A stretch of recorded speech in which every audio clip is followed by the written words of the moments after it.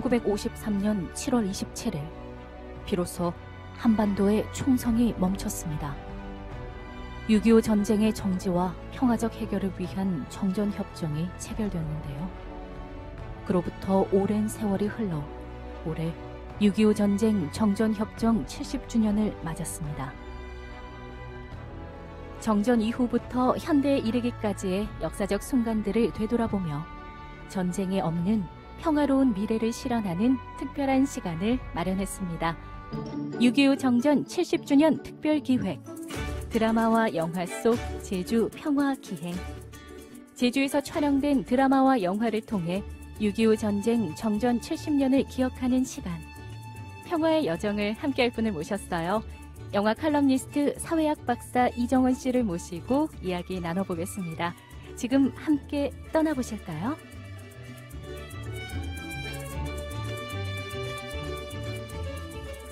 네, 6.25 정전 70주년 특별기획 드라마와 영화 속 제주 평화기행 오늘 일곱 번째 시간입니다. 이 프로그램은 방송통신위원회 방송통신발전기금을 지원받아 제작하고 있고요. 자, 오늘도 여러분과 함께 떠나볼게요. 영화 칼럼니스트 이정원 씨 함께합니다. 어서 오세요. 안녕하세요 이정원입니다. 네, 아 오늘 아주 좀 시원하게 네, 네, 블루 네. 셔츠를 입고 오셨어요. 네. 오 날씨가 너무 꿉꿉하고 좀 그래요. 그래요. 또 비가 많이. 와서 지금 전국적으로 비가 많은데 걱정이고요. 예, 조심하시길 바라겠습니다. 맞습니다. 네. 네. 잠시 이 시간 또 평화 기행 함께 하시면서 조금 평화도 생각하시고 네. 마음의 편안함을 느끼시면 네. 좋을 것 같고요. 자, 오늘은 어떤 작품으로 한번 떠나볼까요? 오늘은 조금 따뜻한 곳으로 가보죠. 네. 서귀포시 남원읍으로 평화 기행을 떠나보겠습니다. 오, 남원읍으로. 예, 네. 남원하면 바로 떠오르는 영화 한 편이 있죠. 네. 바로 우리가 지난 3월에 소개해 드린 적이 있었는데 네, 바로 네.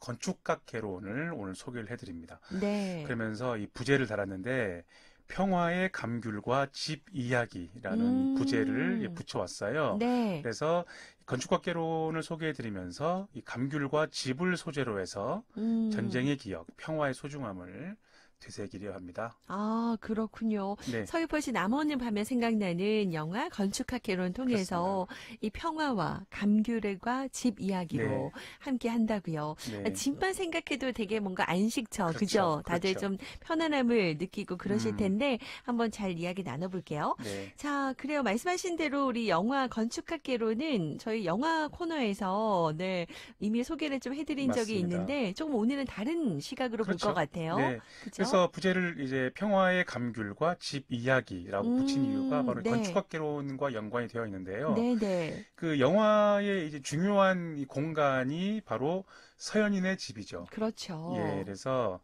그 아까 말씀해 주신 대로 집하면 우리가 이제 특히 이제 방학 때 이제 외가나 이제 뭐 할머니 할아버, 할아버지네 집 이렇게 오랜만에 음, 놀러 가면 맞아요. 자기가 성장했던 그 오래된 과거의 아름다웠던 기억 네. 그리고 그 포근한 사랑 안식 그리고 여기서 힘을 얻고 그래 내일은 더 잘 돼야지라는 희망을 음, 우리가 안고 가지 않습니까? 네, 그래서 이 남원 지역이 어 이제 어떤 역사적으로 봤을 때 한국 전쟁의 아픔을 딛고 서로, 새로운 평화의 아. 시대로 나아가는 희망의 담을 좀 집 같은 역할을 했다. 네네. 라는 생각이 들어서 오늘 건축학 개론을 통해서 아. 그 이야기를 하려 합니다. 그래요. 저도 이제 남원하면은 제 생각나는 게 감귤인데 이 한국 전쟁의 아픔을 딛고 새로운 평화 시대를 맞습니다. 열게 해줬던 그런 곳이었다는 생각은 잘 못 해봤는데 네.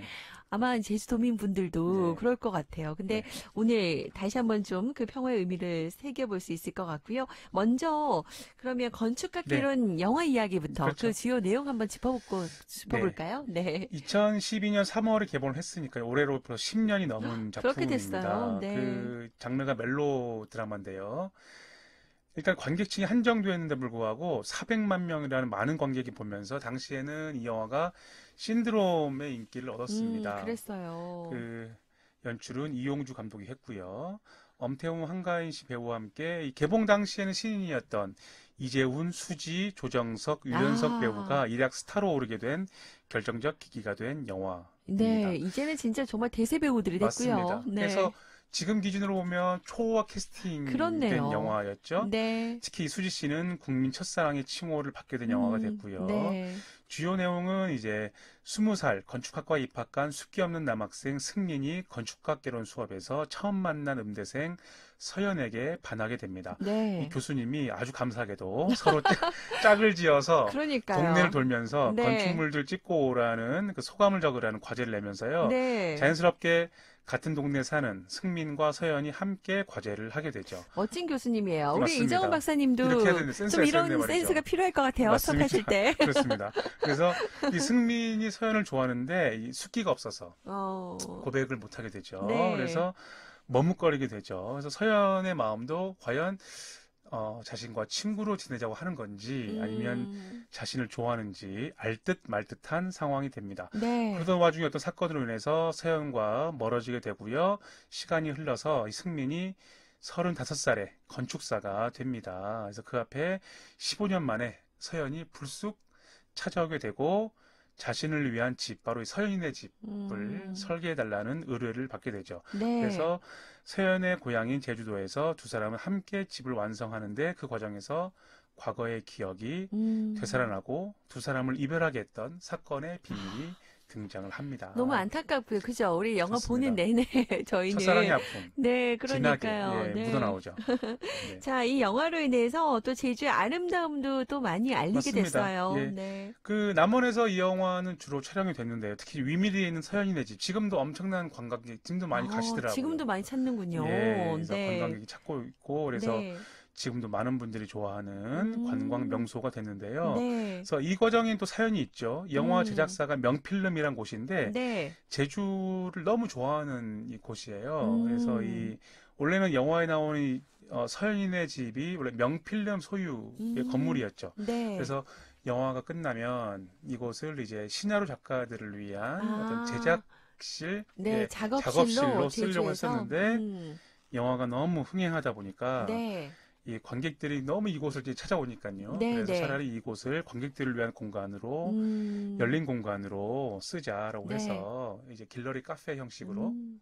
네. 어, 신축을 해서 네. 지금도 사랑받아요. 사랑하는 예, 관광 명소가 되고 있습니다. 다행입니다. 많은 분들이 찾을 수 있는 맞습니다. 장소가 됐고, 그죠? 네, 그 오늘 부제처럼 위미리에 만들어진 이 서연의 집이 진짜 많은 분들, 우리 도민분들에게도 사랑받고 네. 또 안식의 시간들을 공유하게 하는 그런 공간이 되고 있는데요. 자, 그러고 보면 우리 제주의 공간들은 다들 여기 와서 맞아요. 좀 힐링하려고 맞아요. 하시잖아요. 그렇죠. 힘든 시간을 벗어나서 쉬고 싶게 만드는 네. 그런 평화의 집 같은 맞습니다. 그죠? 안식처의 그렇죠. 의미가 강하네요. 네. 제주도 뭐 전역이 그런 이미지와 예, 느낌이 있는데 음, 특히 남원 지역을 가면 좀 아무래도 이 지역 그 네. 지형이나 기후 자체가 더좀 따뜻한. 예, 곳이어서 네. 그런 좀 안식처의 느낌이 더 피부에 잘 와닿죠. 이국적이고 그죠? 예, 맞습니다. 음. 포근한 바다가 있고 또 산도 아주 네. 고즈넉하게 네. 잘 펼쳐져 있고요. 여기 기후도 전체적으로 온화해서요. 그래서 그런 기후 조건에 따라서 또 남원 감귤 하면 전국적으로 어, 아주 유명한 제1의 브랜드라고 손꼽죠. 예, 네. 그리고 어, 이 남원 지역에는 서현인의 집만이 아니라 영화 박물관도 있죠. 네. 그래서 영화와 드라마가 사랑하는 지역 중에 한 곳이어서 음, 이 예술적 감수성이 좀 넘치는 곳입니다. 네. 예, 그래서 딱 가면 뭔가 마음의 안식처 같은 네. 정말 쉬고 있다라는 느낌이 많이 드는. 곳이죠. 좀 우리 제주시에서는 조금 멀어요. 남원이. 예, 좀 네. 그렇지만 그래서 가다 보면 저 여행 떠난 것 같고 예, 그렇죠. 그래서 더 이렇게 편안함과 네. 안식도 느끼게 되는 것 같은데요. 네. 오늘 이 방송을 듣고 나름의 그 평화 기행 여러분만의 예. 평화 기행을 뭐 혼자도 좋고 좋은 분들과 맞습니다. 함께 떠나보시면 좋겠는데요. 자 올해가 이제 정전 70주년이거든요. 예. 이 남원을 태영리 출신인 한 우영 화백의 이야기가 맞습니다. 화제가 되기도 예, 했는데요. 그 언론에도 보도가 됐었는데요. 네. 이 한우영 화백의 이제 갤러리가 오픈했다라는 그런 소식이 있었어요. 네, 그래서 네. 많은 분들이 과연 아, 이분이 누구시지라는 그러니까요. 저도 잘 궁금증을 몰랐어요. 가졌어요. 네. 그래서 어 그러니까 지금 위치는 이제 남원 화례로 그러니까 실내리에 가면 한우영 갤러리라고 있습니다. 음. 이 한우영 화백의 고향이 남원 태흥리인데 1932년도에 고향을 떠나서 네. 90년 지난 2002년 22년이 돼서야 아, 어, 그 화백의 작품들이 제주에 올 수가 있었습니다. 네, 바로 네. 이 갤러리가 만들어지면서요. 어, 이 음. 한우영 화백의 삶이 조명을 받게 아, 됐는데 90년이나 지나서 돌아오게 맞습니다. 됐군요. 음, 그 음. 이분의 원래 사연이 그러니까 오랫동안 이분이 알려지지 않은 이유가 바로 월북 화가이기 아, 때문이죠. 네. 그래서 해방과 한국 전쟁 이후에 이 남북한 사회가 겪었던 이념의 갈등 그리고 정치적인 음. 문제로 고향 제주에 올 수가 없었습니다. 네, 그러다가 이 화가의 둘째 아드님이신 한정삼 씨가 부친을 기리기 위해서 한우영 갤러리를 만들었고요. 여기에 이제 여기를 가다 가면 이 화백의 이야기 그리고 작품을 만날 수가 음, 있습니다. 그렇네요. 정치적인 뭐 이념이나 이런 부분은 좀 떠나서 그죠? 이런 그렇습니다. 작품을 통해 한우영 화백을 좀 우리가 들여다볼 수 있을 것 같은데 네. 아무튼 이 한우영 화백의 입장에서는 이 고향 남원 이 그렇죠. 어, 얼마나 또 오고 싶었던 그렇습니다. 장소가 네, 아니었을까 네, 싶어요. 그렇죠. 평화의 안식처로 이제 평화의 집이 된 건데 예. 이제 월북 을 하셨기 때문에 그 이후의 삶에 대해서 우리가 좀 그렇습니다. 네, 알수 있는 길은 예, 별로 없군요. 네. 그 화백 은 이제 1920년생이에요. 그래서 음, 1950년대에 이제 일본에서 또 제주 출신 화가시죠. 아. 변시지 화백 등과 함께 네, 네. 제일조선 미술협회를 창설을 한 작가가 되겠습니다. 네, 그래서 네. 어, 이후에 1962년도에 북송선을 타면서 이후의 삶은 거의 알려진 게 음, 없습니다. 그래서 이 화백의 삶 자체가 한국 전쟁의 아픔, 어떤 음, 분단을 네. 좀 상징하고 있다는 점에서 우리가 한 번쯤 기억할 필요가 있겠고요. 그렇네요. 그리고 어, 아까 말씀하신 것처럼 이 얼마나 이 고향 남원을 그리워했을까. 네. 자신이 이제 집이 있는 고향으로 음, 얼마나 가고 싶었을까를 생각을 해보면 이 정제 70주년에 남원 지역이 갖는 이 평화 의미가 꽤 크다라고 할 수가 있겠죠. 아, 그렇네요. 예, 그래서 실제로 이제 제가 이제 직접 다녀왔거든요. 이 음. 길러리를 가면 어 이제 화가 이 화백의 원화 작품을 비롯해서요. 디지털 복원한 유작이 전시되어 있으니까 음, 또 이제 어 카페도 같이 운영되어 있습니다. 네. 그래서 겸사겸사 시간 나실 때 아, 가시면 아마 꽤 좋은 시간이 음. 되지 않을까 싶습니다. 그러네요. 건축학개론 이 서현이네 이 갤러리 카페도 가보시고 네.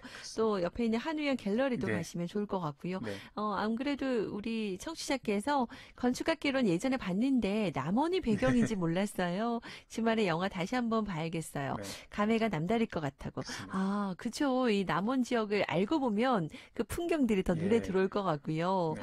남원 가야겠습니다. 영화도 다시 보고요. 이러면서 문자들 주고 계 신데 감사하고요. 네. 정말 그 한국 전쟁 아픔을 평화로 승화하기 위한 또 남북 교류의 매개체로서 사실 또 이 남원 지역의 감귤이 여러 가지 또 역할을 많이 했죠. 그렇죠. 감귤. 맞습니다. 예. 그죠. 남원. 감귤하면 이제 그 남북 을 잇는 가교 네. 역할을 네, 아주 네. 중요한 역할을 했었죠. 예, 그래서 감귤 자체가 이 평화와 포용의 의미를 갖고 있다. 네. 그래서 이 어떤 감귤의 이 평화와 포용 상징성을 노래한 시가 있어요. 네. 그래서 이 시 한 편을 함께 네. 듣고 이야기를 나누면 좋겠습니다. 맞아요. 비타민 외교라고 했던 네, 이 감귤. 감귤 관련한 또 시를 여러분께 소개해 드릴 텐데, 네. 네, 우리 성우 이연혜 씨가 네. 네. 녹음했습니다. 같이 한번 들어보도록 할게요. 네.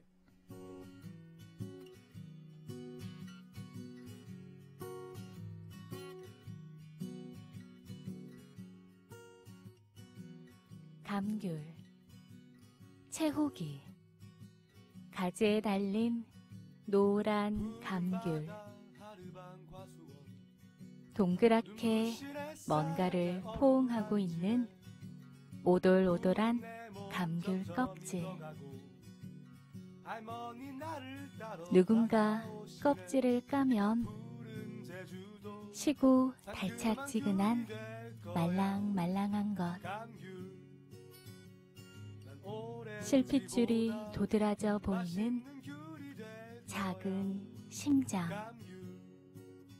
먹을 수 없어서 망설입니다. 살아서 두근거리는 연약한 것. 동그랗게 뭔가를 포옹하고 있는 것들. 가지에 달린 노란 감귤 네, 어, 감귤, 네. 노란 감귤 네. 지금 떠오르시면서 입에 침 고이지 않나요? 네, 어, BGM으로는 제가 고르는 노래 감귤이라는 음. 곡에 맞춰서 성우 이연혜 씨가 같이 녹음을 해주셨습니다. 어, 보이니까 정말 실핏줄이 도드라져 보이는 작은 심장. 네. 동그랗게 뭔가를 표현하고 있는 네. 것들의 식구가 아주 인상적입니다. 네. 그 감귤이 아픔을 위로하고요. 또 다름을 포용하고 평화를 연결하는 그런 의미를 갖고 있는 어, 그런 시라는 생각이 들어요. 그렇습니다. 네. 이 최호기 시인의 감귤이라는 시 들으셨는데요. 네. 이제 시에서 들으신 것처럼 이 그러니까 감귤이 이제 까고 먹고 하다 보면 이제 우리도 모르게 뭔가 이제 달콤함 속에서 이제 배어 나오는 네, 그런 네. 뭔가 따뜻함, 예, 뭔가 좀 기분 좀 하시 있잖아요. 음. 그래서 이 감귤이 갖는 게 위로와 포용, 또 이제 시에 나온 것처럼 평화의 심장이나 상징성이 제주에서는 북 한 감귤 보내기 운동이라는 구체적 실천의 하나의 사례로서 네. 구현이 됐죠. 그래서 이 북한 감귤 보내기가 이제 98년도부터 시작이 됐습니다. 그래서 제주산 감귤 100톤이 북한으로 보내졌죠. 그 감귤 북송은 지방자치단체 차원에서는 북한에 물품 지원을 한 첫 사례가 음. 되겠고요. 그 인도적 차원에서 이뤄진 교류고요. 이 그래서 이 제주의 감귤이 이제 북한 지역 병원, 그 보건소 등에 있는 어린이와 노약자들에게 전달이 되면서 네, 이 네. 남북의 어떤 거리를 좁히는 역할을 했었습니다. 네. 그래서 어, 이후에도 계속 이제 꾸준히 제주 음. 감귤이 이제 북한으로 보내지는 예, 그런 음. 그다음에 남북 교류의 상징 네, 매개체로서 맞아요. 대표적인. 예, 역할을 했습니다. 그래요. 지금까지도 남북 교류 협력 사업에서 매우 성공적이고 의미 있는 성과로 그렇습니다. 꼽히고 있는 예, 사업이죠. 맞습니다. 네. 특히 이제 그 문재인 정부 시절에는 이제 그 남북 협력을 위한 핵심 교류 물품으로 제주 감귤이 아주 중요한 역할을 했는데요. 그래서 네. 그 2018년 당시에는 제주 감귤 200톤을 군 수송기에 실어서 평양으로 보냈다고 하고요. 그리고 그 200톤이 모두 남원을 포함한 서귀포 지역 감귤로 선택이 됐습니다. 네, 네. 맞아요. 예. 그 뉴스 이런 장면들도 막 기억이 납니다. 맞습니다. 지금은 저희가 좀 약간 냉전 관계이긴 한데, 네, 그죠? 이 2018년 감귤을 보낼 당시에 또 특별한 에피소드가 있었다고요? 맞습니다. 예, 뭘까요? 그래서 그게 아무래도 이제 좀 사안이 민감하다 보니까 이제 대놓고 이제 공개적으로 감귤을 선별하거나 음. 이제 보낼 수가 없었던 거죠. 네. 그래서 처음에 이제 서귀포 감귤 농가에 아무 내용도 쓰이지 않은 하얀색 10kg 상자 2만 개가 음. 이제 왔다고 해요. 그래서 네. 그건 이게 뭐냐 도대체. 그래서 어. 그냥 해서 농가들은 아무 사연도 모르고 그냥 이제 가장 최우수 좋은 감귤을 이제 담았다고. 담아요. 네, 예, 그래서 우선. 특히 이제 남원읍, 중문 등 이제 서귀포 전역의 감귤 농장에서 가장 맛있는 감귤을 음. 모아서 별도로 크기와 당도를 측정해서 선과 작업을 한 상품 중에 상품을 골라서 아, 네. 이 박스에 담았다고 네, 하죠. 네. 그래서 담다 이제 보니까 이젠 그 처음엔 사연을 몰랐는데 음. 나중에 뉴스 나오는 걸 보고 아, 그제서야 그제서야 농가들도 알았어요. 감귤 보내기 3, 4일 전에 농가 농민분들께서 아 우리가 이제 포장한 게 아, 북한으로 북한으로 갈 거였구나. 이제 그때야 이제 네. 네. 알았다고 합니다. 네, 그래서 네. 그래서 그렇게 아주 좀 비밀리에 추진된 음. 프로젝트였고요. 네. 그리고 얼마나 이제 그만큼 어, 남원을 비롯한 서해포 지역 감귤이 얼마나 음. 전국적으로 아주 또 한반도를 통틀어서 네, 네. 최고의 상품이냐라는 것을 네, 또알 수가 있는 있는. 예, 음. 거고요. 그래서 이 또 사례를 통해서 어, 서귀포 감귤의 우수성이 음. 한국을 넘어서 전 네. 세계로 알려지게 되는 또 그런 계기가 됐습니다. 맞아요. 해외 통신에서도 계속해서 맞습니다. 그 뉴스가 보도됐던 그런 기억이 납니다. 그렇습니다. 그래서 북한에서는 진짜 평생에 한번 와보고 싶은 곳으로 네. 제주도 그리고 감귤 먹고 맞습니다. 싶은 과- 그리고, 과일 중에 하나로 아무래도 또 추운. 지역이니까 또 이런 과일을 그저 먹을 수가 먹을 없죠. 수가 없죠. 네. 예, 그래서 네. 그런 어떤 인도적 교류 차원에서는 그래서 지- 지금도 최근에 열린 제주 포럼에서 도 음, 감귤 보내기 사업은 계속 유지를 해야 되는 게 아니냐라는 네. 그런 또 이야기도 아. 있었습니다. 그렇군요. 네, 저희가 이제 올해가 6.25 정전 70주년을 맞아서 우리 네. 제주에서 촬영됐던 드라마 영화 속에 나왔던 그런 장소를 찾아 또 이야기도 나누면서 네. 제주 평화 기행을 함께하는 시간이잖아요. 네. 그죠? 오늘은 영화 건축학개론을 통해서 남원과 평화 또 감귤 네. 그리고 우리 좀 평화의 안식처를 할수 있는 네. 집, 네, 같이 생각하는 특별한 시간이었어요. 네. 네. 앞으로도 우리 제주의 감귤이 네 다른 뭐 진짜 정치적인 신념, 이념 이런 거다 떠나서 맞습니다. 평화적으로 네. 그치 함께 할 수 있는 그런 가교 역할이 됐으면 좋겠다는 생각이 들고요. 네. 자 오늘 일곱 번째 시간은 여기서 또 마무리해야 되겠네요. 함께 해주셔서 감사합니다. 다음 시간에 뵐게요. 네, 고맙습니다. 6.25 정전 70주년 특별 기획 드라마와 영화 속 제주 평화 기행 이 프로그램은 방송통신위원회의 방송통신 발전기금을 지원받아 제작한 것입니다.